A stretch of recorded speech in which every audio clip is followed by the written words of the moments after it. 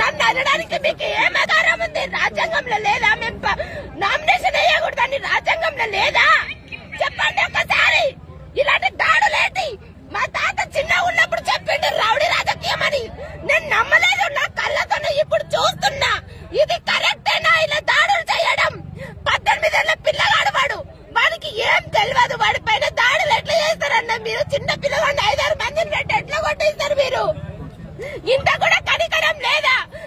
ఇలాంటి బెదిరింపులు కాదు. ఒకసారి మీ కాన్స్టిట్యున్సీలో అభివృద్ధి ఎలా ఉందో ఒకసారి చూసుకోండి. అలాంటి అభివృద్ధి చేయని వాళ్ళను మధ్యలో తింటున్న వాళ్ళని దాడులు చేయండి అన్న మేము మంచి చేయడానికి వచ్చినామన్నా మాకేం తెలియదు గెలిచి పది మందికి న్యాయం చేద్దాం అనుకున్నా కానీ ఇట్లా నన్ను ఇట్లా చేస్తారని అనుకోలేదన్నా.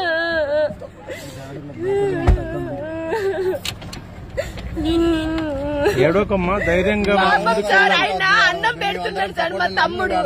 ఎనికిలో వచ్చి అన్నం పెడుతున్నాను గుంజి కొడితే మాకు ఎట్లుంటది అన్న? అందరికంటే చిన్న పిల్లగాడు వాడు మా ఇంట్లో. మాకు ఎంత బాధ అనిపిస్తుంది అన్న?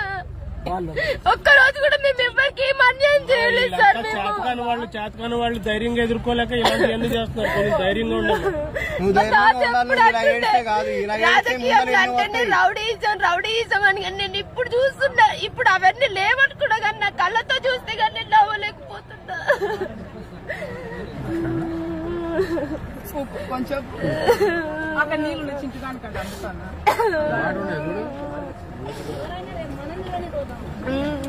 నేను నిరుద్యోగుల సమస్యలు పోరాడడం కోసం వస్తే ఇన్ని ఇన్ని ఇన్ని చేస్తున్నారు. నాకు ఎన్ని బెదిరింపులు కాల్స్ వచ్చినా నేను ఎప్పుడు ఎవరిని ఏం పేర్లు చెప్పలేదన్నా ఎందుకంటే నాకు అవసరం లేదు ఎవరు కాల్ చేసి ఎవరు బెదిరిస్తున్నారు నాకు అన్ని తెలుసు అన్నా. కానీ నాకు అవసరం లేదు మీ గురించి నా ప్రచారం ఏది నాదైతే నేను నుంటున్నా అంతే.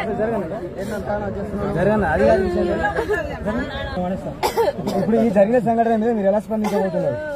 మా ప్రచారాన్ని మమ్మల్ని చేసుకోనివ్వండి మా పైన దాడులు చేయడం కాదు.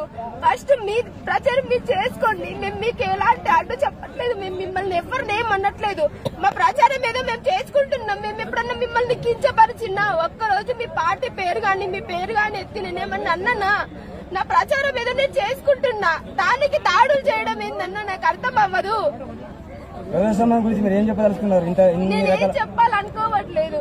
ఇప్పటికైనా మారండి అన్న. ఇప్పుడు రోజు మా పైన దాడి రేపు మీ పైన దాడి.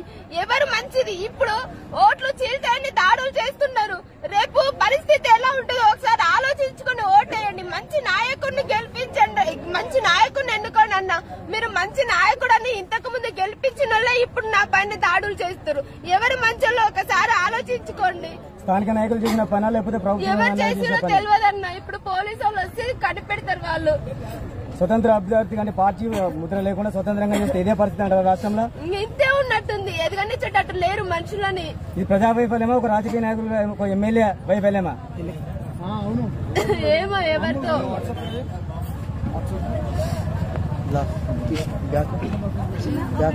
పోలీస్ ప్రొటెక్షన్ కోసం అడుగుతాము ఫస్ట్. ఇంకోటి నేను చెప్పదలుచుకున్నాను అంటే ఈ రాష్ట్రంలో ఉన్న పెద్ద నాయకులందరూ సామాజిక సామాజిక కార్యకర్తలు కావచ్చు ప్రొఫెసర్ కోదండరామ్ గారు గారు కావచ్చు తెలంగాణ రాష్ట్రంలో పోరాటం చేసిన పెద్ద పెద్ద నాయకులందరూ మన శిరీష గారికి మద్దతు ఇవ్వాలని కోరుకుంటున్నా ఇట్లాంటి టైంలో. ఇది పూర్తిగా అప్రజాస్వామికం ప్రజాస్వామ్యంలో దాడికి తావులేదు. మేము పోలీస్ ప్రొటెక్షన్ అడుగుతాము ఎలక్షన్ కమిషన్కి ఫిర్యాదు చేస్తాము. రాష్ట్రంలో ఉన్న పెద్ద మనుషులందరూ మనకు మద్దతు ఇవ్వాలని కోరుతున్నాము. రాష్ట్ర ప్రజలు కూడా ఒక్కసారి ఆలోచించాలి. ఈ దుర్మార్గమైన రాజకీయాన్ని ఇంకా మనం కంటిన్యూ చేయకూడదు. వాళ్ళకి బుద్ధి చెప్పేలాగా ఎలక్షన్ రిజల్ట్ ఉండాలి. మీ ఈ చిన్న చిన్న దాడులకు భయపడి మేము వెనుకకు జరగము. మాకు రాజ్యాంగం హక్కు ఇచ్చింది పోటీ చేసే హక్కు ఇచ్చింది ప్ర- ప్రశ్నించే హక్కు ఇచ్చింది. నిరుద్యోగుల కోసం పోరాడే హక్కు ఇచ్చింది పోటీ చేసే హక్కు ఇచ్చింది. ఖచ్చితంగా ఈ ఎన్నికలు ఎన్ని దారుణాలు చేసినా కంటిన్యూ చేస్తాము.